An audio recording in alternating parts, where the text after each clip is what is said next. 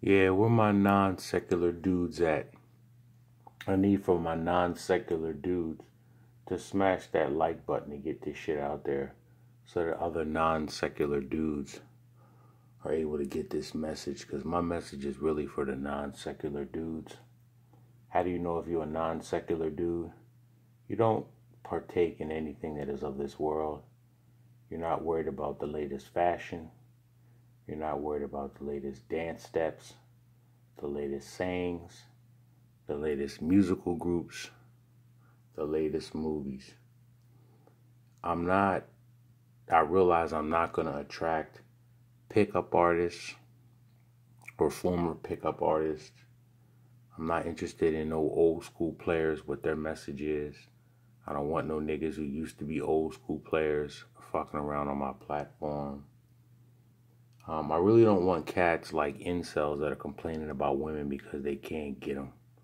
If it looks like I'm complaining about women, it's because I'm utterly disgusted and disappointed with them. When I was about 30 years old, I concluded that a woman is only good for sexual gratification. And now that I'm 45, sexual gratification just is not at the forefront of my mind. It's just not it just sexual gratification is not something that I'm out here working for, living for, or really feel that I need in my life. I don't feel like I need that. So I'm even more disappointed now. Okay, I'll just have to go ahead and say it if it if I have to. My sex game ain't like it was when I was okay. Take the longest athletic life in any professional sport probably I would think would be you could say golf or bowling probably. You can do them into your old age longest but I mean the the, the sports that count you say baseball you got from ages 22 to 34 now I remember when Chipper Jones, if you don't know who he is, Atlanta Braves Hall of Fame, second baseman, short no, shortstop, third baseman, outfielder when he came up, he got drafted at 18. He came up, he was about 21, 22 years old. I remember seeing him in spring training, seeing him hit home runs, seeing him steal bases and stuff like that. When it was towards the end of his career, he wasn't stealing bases and shit like that no more. Getting old. What I'm saying is, you don't have your peak performance sexually at 45 years old. You don't. So it's like I need a female to offer me more than just sex because I'm not in a position to give you sex to where you're going to fall in love with me, not at age 45, especially when you're close to ages in me. No. I remember uh, being in the YMCA in the steam room, and just so happens this nice looking, light skinned, intelligent black woman came in, very attractive, and she was a sociology professor at Temple.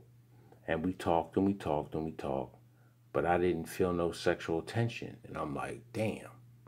Now here's somebody that I can talk. To. Now at the time I was 40, so you know, getting up there. So um, I'm thinking, damn, I can't do anything with her because I, I don't have, I don't feel the tension to want to sleep with her. So I didn't take it any further. In that same YMCA, a couple weeks later, I'm in there laying down with my back, with my back facing up. I got I didn't they weren't speedos, but they were some little ass swimming trunks. They were small. They were small swimming trunks. They weren't speedos, they were little. Well anyway, I started I looked at her and, and she was nice body, non black woman, white girl, nice looking, about twenty five years old. So I looked over at her, closed my eyes, started looking back up under, started, you know, acting like I was, you know, sunbathing. I felt the blood rush to a certain area. Next thing I know, she was talking to me. And, you know, I don't give a fuck what anybody says. Sex is always better with a younger woman. I remember when I was 25, I liked 25 year olds. When I was 35, I liked 25 year olds. Now that I'm 45, I still like 25 year olds. And I've come to the conclusion that if I'm going to get sexual relations from a young, attractive girl, it is going to be a non black woman. It is. And another case, I remember I got into it with a parking attendant. and ended up this is exactly what happened. She went to go put my information in to give me a ticket and I tried to grab the machine. And when I grabbed the machine, she pulled her hand away and hit herself in the face. Told the police that I hit her. ended up getting arrested for that. Um, and when I had to go to court, my public defender was a Caucasian female. The prosecuting attorney was a Caucasian female that I just happened to know because she lived in the building where I did security. So she knew my face. She she pretended that she wasn't the girl because I asked her and she didn't want me to know, but she was the same girl. And the public defender was a white female. And I remember just looking at the white girl defending me against three black females. It was the parking attendant herself. She brought her mother and her aunt. And they were trying to get everything happening to me, trying to get my security license taken, trying to get me thrown in, in jail, just pulling up all types of shit, trying to just get me nailed, him to the coffin. And them white chicks defended me, man. It was it was such a surreal thing. It, that lets me know that black women, the state of black women, they are truly fucked up and they are truly vehicles for white supremacy. They truly are. You're not going to get me to, you're not going to convince me of anything other than that because I saw it with my own eyes. And then after I beat the case, it, they had it set up to where I didn't even have to go report to probation or anything. I did. I just had to call the probation office one time, let them know what the deal was, and that was it. Three months after that, I was released from probation. Didn't have any papers. Didn't pay. I did have to pay a small fine. You know they get you with that, but it didn't show up on my record or anything like that. Anything like that. So, yeah, I'm disappointed that these 45 year old women can't offer me anything but sex. That's all women. But the thing is, I don't want sex from a 45 year old woman when I can get it from a 25 year old woman. You know, I'm at a position now where, you know, in the next few months or so, um, I'll be set up in a new place and I'm going to be inviting chicks over just to talk, man. Now, this is where it gets slippery.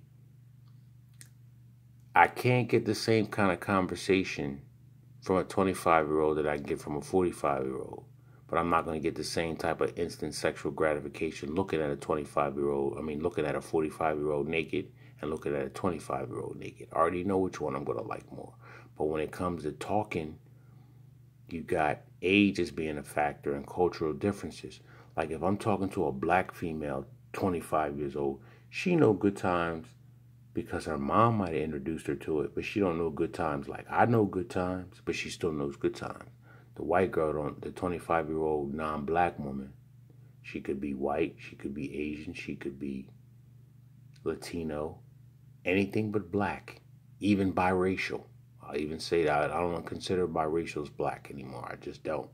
So we're talking a non black woman, we're talking a biracial woman, we're talking a Latin woman, we're talking a Asian woman and or white woman. Those are the non blacks. Indians, I'm not really I'm not too keen on them, but yeah, they they they're not black women.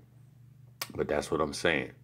So none of them know good times at all. If they're young or if they're middle aged or what, they don't think they know good times like that. So that takes away from the conversation we can have. You know, how much life experience does a 25 year old have to where, you know, we can learn from each other. But still, it's about, you know, I'll invite you over to my house just to talk. I told it's not no, I'll get you over there and, no, I'm 45 years old. Sex is not something that runs through my veins like that. That's why I don't have no desire to be over there talking to certain cats about women as far as, I guess it probably does come off that I want them to change but not even so much for me because I'm done with the women of this generation. I don't want to reproduce. These women aren't aren't aren't wife material anyway. They're only good for sex partners. Society promotes these women to be promiscuous, to be whores, to be overt with their sexual desires and not be reserved. This is what society is pushing for. And getting back to my non-secular dudes, they having a hard time out here with these women who want to throw them down and have sex with them after just meeting them and on the internet with two or three boyfriends. That's that's why we ain't getting nowhere with these women. They shit. I remember telling a girl that, you know, I would like to be held. And as corny and as it may sound to some women or some younger dudes, eh, and she like basically clown me and, you know, accused me of being a bitch. And I'm like, wow, wow, okay. But, you know, you're still in your mid 40s with two kids and you don't turn me on like that. So.